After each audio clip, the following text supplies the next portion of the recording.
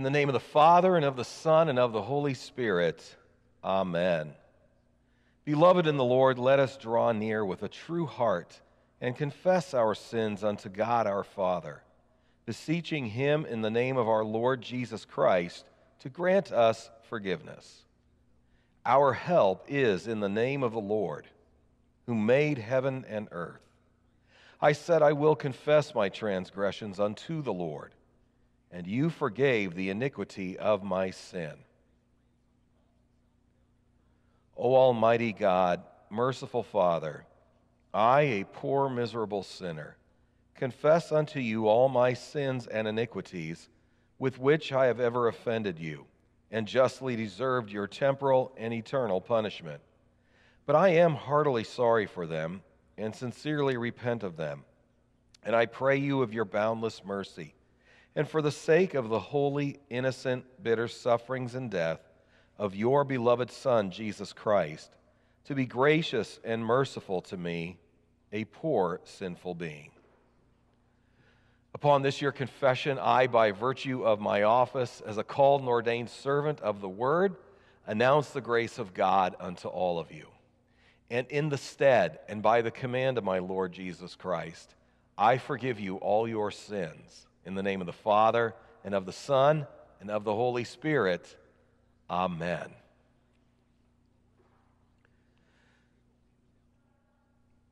I will sing of the steadfast love of the Lord forever. With my mouth I will make known your faithfulness to all generations. For I said, Steadfast love will be built up forever. In the heavens you will establish your faithfulness. You have said, I have made a covenant with my chosen one. I have sworn to David, my servant, I will establish your offspring forever and build your throne for all generations. Let the heavens praise your wonders, O Lord, your faithfulness in the assembly of the holy ones. Glory be to the Father, and to the Son, and to the Holy Spirit, as it was in the beginning, is now, and will be forever Amen. I will sing of the steadfast love of the Lord forever. With my mouth I will make known your faithfulness to all generations. And now in unison we pray the Kyrie. Lord, have mercy upon us. Christ, have mercy upon us. Lord, have mercy upon us. The Lord be with you. Let's pray. Stir up your power, O Lord, and come and help us by your might, that the sins which weigh us down may be quickly lifted by your grace and mercy.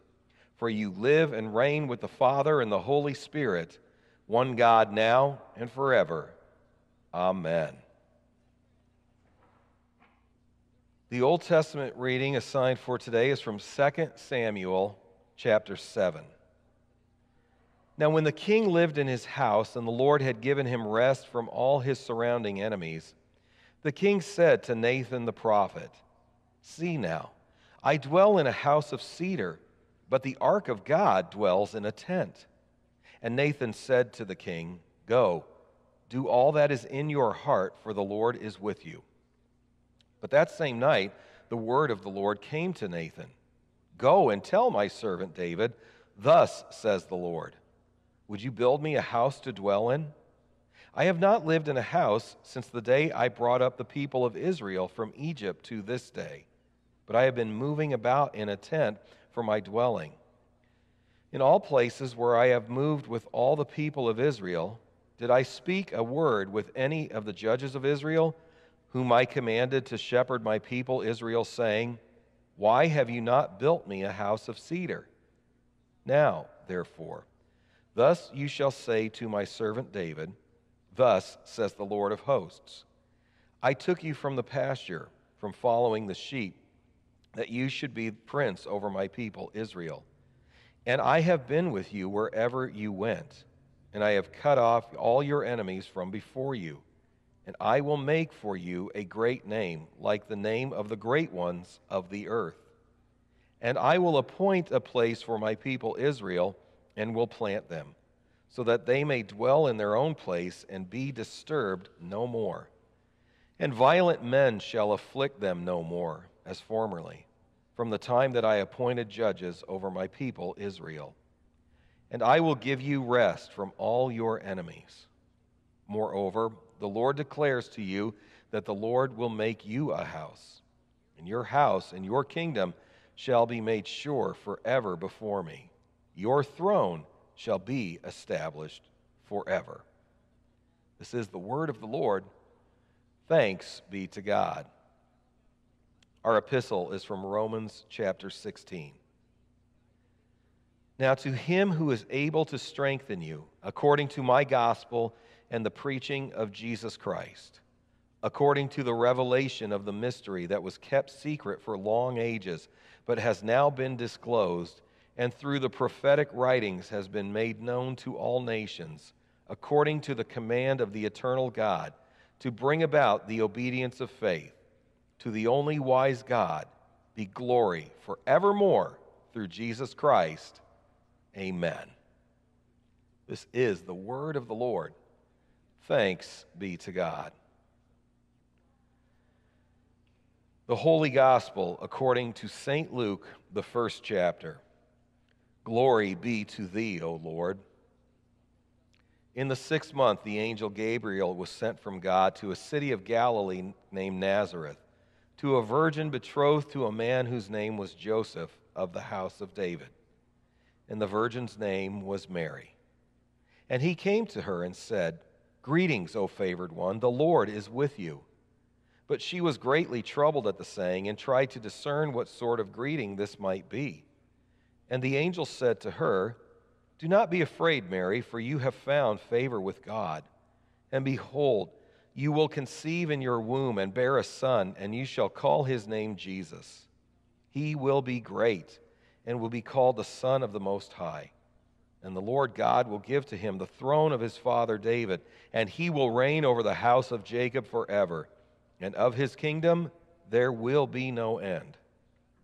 And Mary said to the angel, how will this be, since I am a virgin? And the angel answered her, The Holy Spirit will come upon you, and the power of the Most High will overshadow you. Therefore, the child to be born will be called Holy, the Son of God. And behold, your relative Elizabeth is in her, in her old age, has also conceived a son. And this is the sixth month with her who was called barren. For nothing will be impossible with God. And Mary said, Behold, I am the servant of the Lord. Let it be to me according to your word. And the angel departed from her. This is the gospel of the Lord. Praise be to thee, O Christ. And now, having heard God's word, we confess our Christian faith together, and we do that using the words of the Apostles' Creed. I believe in God the Father Almighty, maker of heaven and earth, and in Jesus Christ, his only Son, our Lord, who was conceived by the Holy Spirit, born of the Virgin Mary, suffered under Pontius Pilate, was crucified, died, and was buried. He descended into hell. The third day he rose again from the dead he ascended into heaven and sits at the right hand of God the Father Almighty. From thence he will come to judge the living and the dead. I believe in the Holy Spirit, the holy Christian church, the communion of saints, the forgiveness of sins, the resurrection of the body, and the life everlasting. Amen.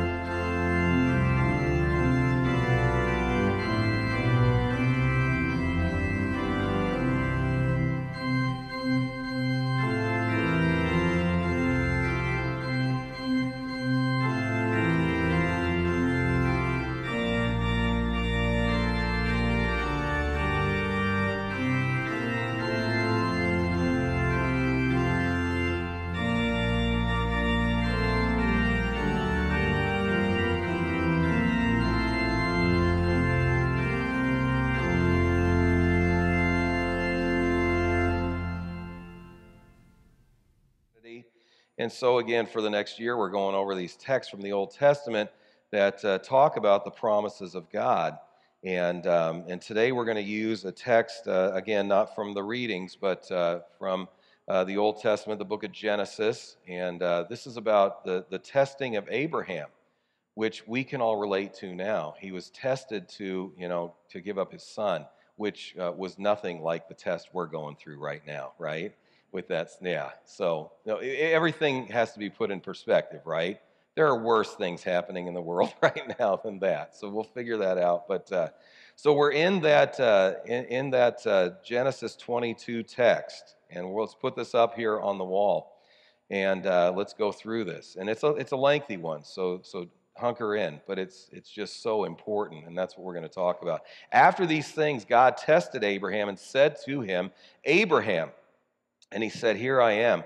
He said, Take your son, your only son Isaac, whom you love, and go to the land of Moriah and offer him there as a burnt offering on one of the mountains of which I shall tell you. So Abraham rose early in the morning, saddled his donkey, and took two of his young men with him and his son Isaac. And he cut the wood for the burnt offering and arose and went to the place of which God had told him. On the third day, Abraham lifted up his eyes and saw the place from afar. Then Abraham said to his young men, Stay here with the donkey. I and the boy will go over there and worship and come again to you. And Abraham took the wood of the burnt offering and laid it on Isaac his son. And he took in his hand the fire and the knife. So they went, both of them together. And Isaac said to his father Abraham, My father. And he said, Here I am, my son. He said, Behold, the fire and the wood, but where is the lamb for a burnt offering? And Abraham said, God will provide for himself the lamb for a burnt offering, my son. So they went, both of them together. When they came to the place of which God had told him, Abraham built the altar there and laid the wood in order and bound Isaac his son and laid him on the altar on top of the wood. Then Abraham reached out his hand and took the knife to slaughter his son. But the angel of the Lord called to him from heaven and said, Abraham, Abraham. And he said, Here I am. He said, Do not lay your hand on the boy or do anything to him, for now I know that you fear God, seeing you have not withheld your son, your only son, from me. And Abraham lifted up his eyes and looked, and behold, Behind him was a ram caught in a thicket by his horns. And Abraham went and took the ram and offered it up as a burnt offering instead of his son. So Abraham called the name of that place, The Lord will provide. As it is said to this day, On the mount of the Lord it shall be provided. And the angel of the Lord called to Abraham a second time from heaven and said, by myself I have sworn, declares the Lord, because you have done this and have not withheld your son, your only son. I will surely bless you, and I will surely multiply your offspring as the stars of heaven and as the sand that is on the seashore. And your offspring shall possess the gate of his enemies. And in your offspring shall all the nations of the earth be blessed, because you have obeyed my voice. So, grace to all of you and peace from God our Father and from our Lord and Savior Jesus Christ. Amen. There's a scene from the movie, the, the comedy Coming to America, where uh, at a party they're having at a house, an announcement is made that two young people are engaged to be married, and this is all good and everything's everybody's excited at the party, uh, except for the fact uh, that one person is not excited because uh, the bride to be has not actually been asked by the groom to be. And she's just learning about this uh, through this announcement at the party. So, one of the people in attendance at this party is the family's pastor. And he takes a moment to very emotionally and effusively congratulate her with these words. He says to her, I want you and that boy to tie that knot. I'm going to pray for you, and I want you to hold on to God's unchanging hand because he helped Joshua fight the battle of Jericho. He helped Daniel out of the lion's den, and he helped Gilligan get off the island. Now, which one of those three is out of place? Yeah, Joshua and Daniel, true stories that are told and referenced in the Bible. Gilligan is a fictional character from a television show in the 1960s, but unfortunately, I think that joke in that movie gets, a, gets at a bigger truth that people actually have as they look at the story of salvation, as they look at Scripture as the Word of God, or maybe not as the Word of God in some cases. And it's that attitude that says, well, some of this might be real. I'm sure a lot of it's just allegorical, allegorical and and there's a whole bunch of weird stuff in there we're not really sure about. And I think this text in Genesis is a very good way of our God saying to everybody, hey, this story, this whole story of salvation as found in my word is for real. This isn't some made up thing, but all of this stuff actually happened. Because if the Bible is God's word, which we believe, and, and it's written so that we can know Him and know His plan of salvation and what our relationship with Him is supposed to be like, the near sacrifice of Isaac tells us that this is for real. Because if you were making up a story, it doesn't seem like a great idea to include this in there if you want people to like, believe in, and trust in the promises of this God, right? But what is going on here is real. This actually did happen. And this text is one of the most powerful ways that God communicates a message to you and me about why we should love and trust and believe in this God and no other God. So last week we talked about Abraham. We talked about his call from God to leave his home and go to a place where God would use Abraham to bless all of the families of the earth. Now, Abraham himself would not be that blessing, right? Only Jesus the Christ could be that blessing to all the world. But it was through the lineage of David, the bloodline, that God was going to bless the earth. And there was just one problem at this time, right? At the time of the call of Abraham, he was about 75 years old, and he and his wife did not have children. They seemed kind of past their, you know, shelf life of, of childbearing time. But what happens? Miracle of miracles and God blesses them with the gift of a son named Isaac.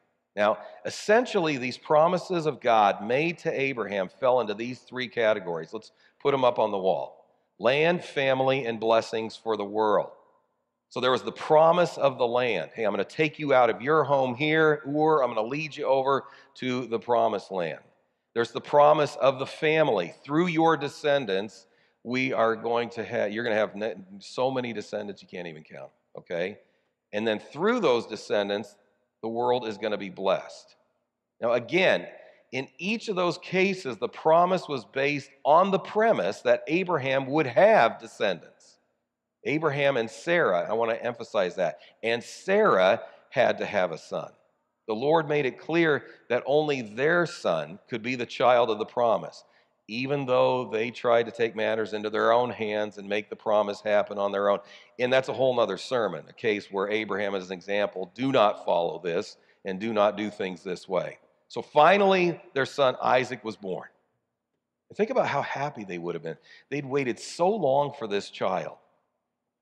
Had waited and prayed about, and, and now here it is. And so much depended on, because not only that, you know, we have this uh, message from God to them that, hey, I'm going to do great things through this son. So everything God had promised was writing on Isaac. And now, what does God say here? Kill him. Doesn't it look like God is going back on his word, taking his promise back at this point? But we know that this is the test. Okay, Abraham was being tested by God, but the sinful world in his sinful nature was being tempted to do something else, and that is think that the Lord's promise was worthless and that his situation was hopeless. So he had to do a little bit of comparison and contrast here because the promise of God said that God loved Abraham and it singled him out as a conduit for the blessings of all the nations. But the world was saying something else, right? The world he lived in, lived in saw Abraham as just one of many, many people on the face of the earth and not particularly special. So why should he listen to the promise? Okay, the promise of God said that from this boy Isaac, a multitude of descendants would be born. Look at the situation here in the world, it seemed Isaac was not going to have any descendants.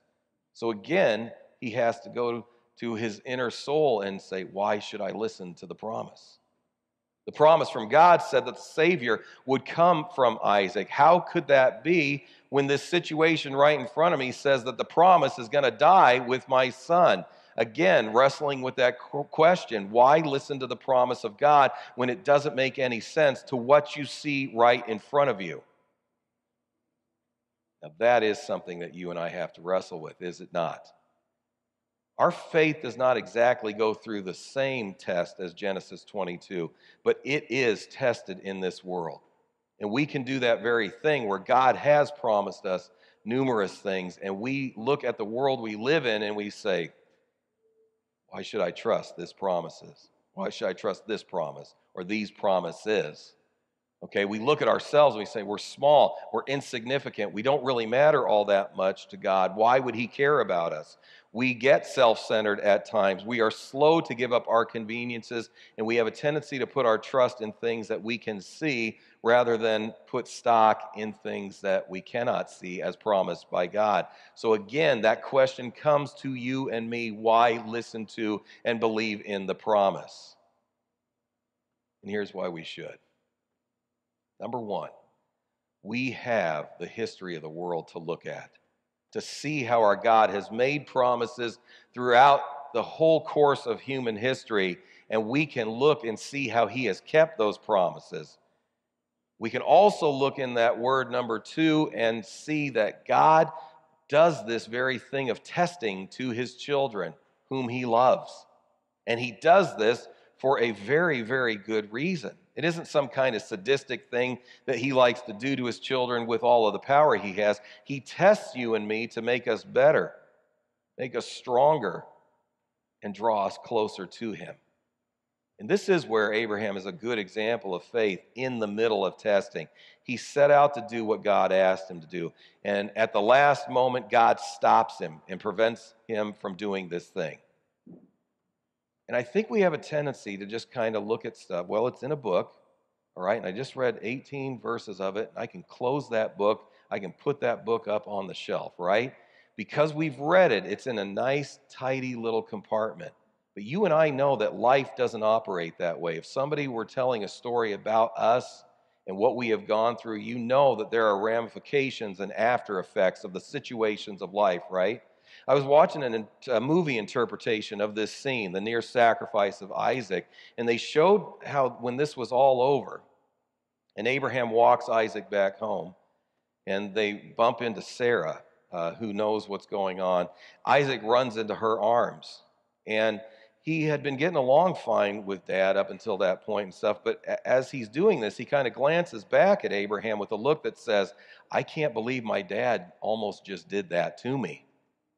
And in this scene, Sarah wasn't very happy either. There's a sense of like, okay, uh, you know, this is this is kind of weird. There's a tension here, and I think that that's probably a realistic interpretation of their relationship. But as he's doing this, he kind of glances back at Abraham with a look that says, "I can't." And Thanksgivings were pretty awkward at the dinner table too. But you know, what we need to understand is that there are far, you know, farther-reaching effects in in these things.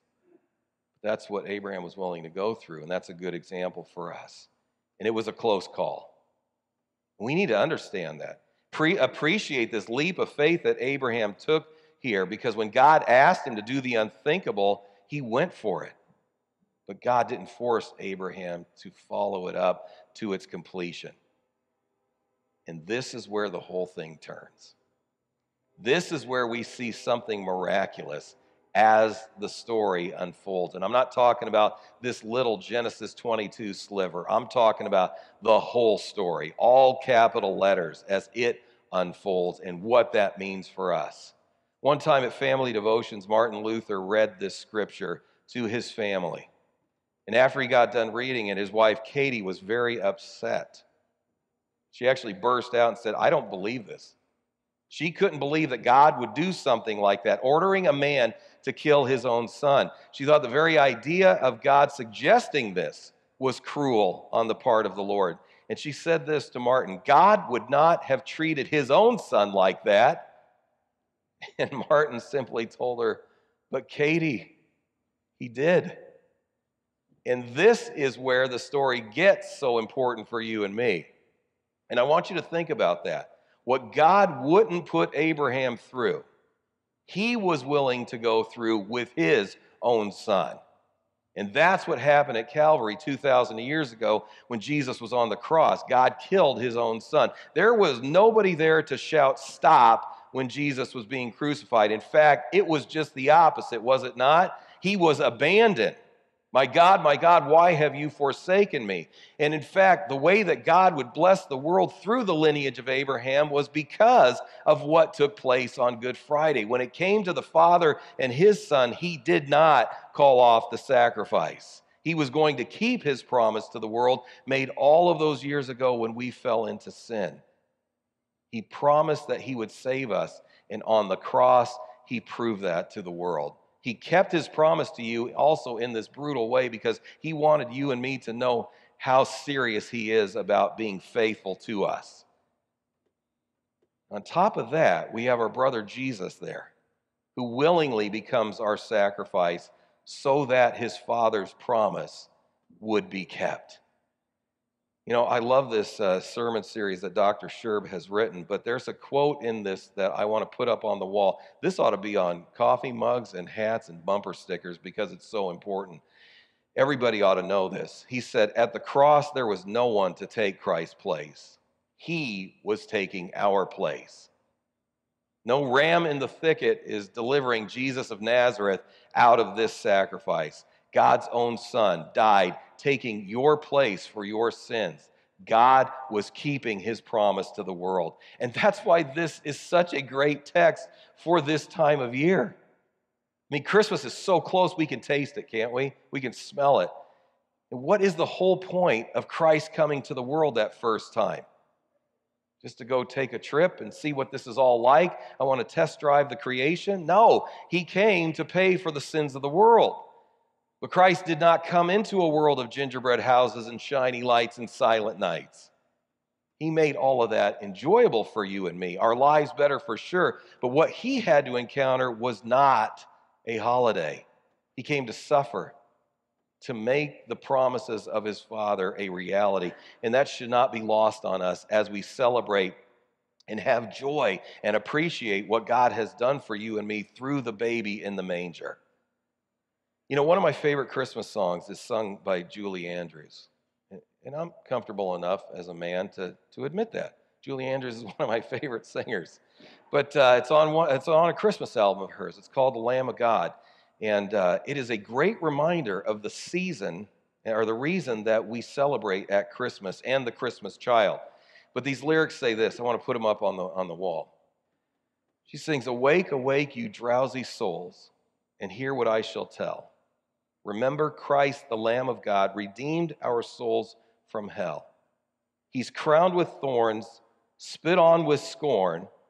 His friends have hid themselves. And here's the kicker line So God send you all much joy in the year. Yeah, you won't hear that one at Target. But this is our God. What he is willing to go through for us is the ultimate sacrifice. And why is that? Because our joy, the joy which we are called to live in, the joy that there is because our sins are forgiven, the joy because heaven and man have been reunited. That joy is important enough to him that he sent his only son. And that's why we need to focus on what is really going on here in the text of Genesis 22. Again, a lot has been made about Abraham's faith and trust in God, and you got to hand it to him. He is pretty faithful here. But the faithfulness of Abraham is not the main point of all this. The promise of the Most High God is the most important thing in this text and in the entire story. God's promise to his creation is the greatest thing happening here and forever and ever. And at the end of the passage, the angel of the Lord reiterates this, right? He doesn't say, hey, way to go, all right? But he does after he, I guess he gives him a little bit of an attaboy there, but he re- reiterates the main point of all this the promise that God had already made within the call of Abraham. And that's what? In Abraham specifically, in his offspring, all the families of the earth would be blessed. This was the promise of the Christ child. The promise that Jesus, by his life and death and resurrection would save his creation. And that's what our God is all about his guarantees. And this season is all about his promises being kept. You know, if I could go to another uh, Christmas song that I love, it's from the Trans Siberian Orchestra, and it says this I love this line Christmas has its promises to keep. That's what this is all about. The birth of the Son of God through the line of Abraham is proof that our God is all about keeping his promises. Wouldn't it be a shame if we didn't use this gift? It would be. So take all of the fulfillments of God's promises and put them into your lives. Live in them. Cling to them in faith like Abraham did. We have a God who forgives our sins. We have a God who has created us and the world and keeps us alive. We have a God who raises his people from the dead. He is a God who can be trusted. When everything seems hopeless, the Lord comes through on his guarantees. So, God bless us to live in the power of the promises of God today, tomorrow, for every day of our lives until we stand in his presence. Amen. Would you please rise? Let us pray for the whole church of God in Christ Jesus and for all people according to their needs. Almighty God, you have blessed us with the incarnation of your Son, our Lord Jesus Christ. In everything, let it be to us according to your word. Give us faith to believe that nothing is impossible with you, and teach us to pray boldly and with a childlike confidence. Heavenly Father, through your Son, Jesus Christ, you have revealed the truth of salvation. You have brought that saving message to the ends of the earth. Bless all of your churches that they would be rooted in and guided by your word. Strengthen your people in every place, Lord. Hear our prayers on behalf of our nation, its president, all legislators and judges, and those newly elected to serve preserve their lives, and guide their actions for the good of our people. Give peace among the nations of the earth, and preserve us from pestilence and famine, war and bloodshed, sedition, rebellion, and every form of evil. Most High God, look with compassion on the lonely, the depressed, and the despairing. Grant healing to the sick, and give peace to the anxious and dying Lord, we ask that you would continue to be with Paul Vondeber, Jeff Bowl, Josephine Mancini, Mike Stagnolia, and Lorraine Sandage. Be also with all those who feel the physical, mental, emotional, financial, and spiritual effects of the pandemic. Be with healthcare workers, Lord, who are working so hard on our behalf. We also ask that you comfort all those who mourn the death of a loved one at this time. Comfort them with the certain hope of the resurrection of the dead and the life of the world to come, made possible by your Son. At this time, we ask that you would be with the families of Jim Rowe, Dorothy Schmadicke, Mary Roberts, Floyd Bertoni, and Charles Stokel. At this time of year and always, Give us thankful hearts for all of our blessings, but especially for the gift of your Son, Jesus Christ. By his death, he has opened the kingdom of heaven and closed the gates of hell for all who trust in him. By his resurrection, he has rescued the prisoners who sat in darkness and in the shadow of death. Bless us to live in the life and light that he brings to this world, and keep us ready for his wonderful return. We ask all this through the same Jesus Christ, your Son, our Lord, who lives and reigns with you and the Holy Spirit, one God, now and forever. Amen.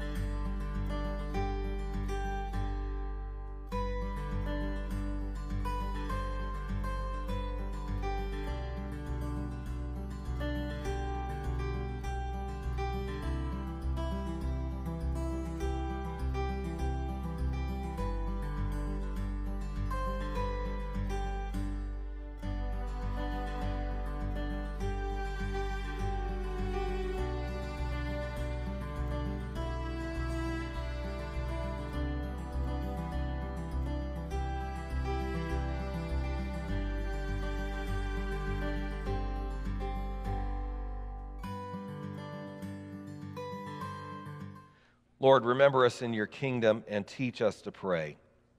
Our Father, who art in heaven, hallowed be thy name. Thy kingdom come, thy will be done, on earth as it is in heaven. Give us this day our daily bread, and forgive us our trespasses, as we forgive those who trespass against us. And lead us not into temptation, but deliver us from evil. For thine is the kingdom, and the power, and the glory, forever and ever. Amen. The Lord be with you. Bless we the Lord. The Lord bless you and keep you. The Lord make his face shine upon you and be gracious unto you. The Lord look upon you with his favor and grant you his peace. Amen.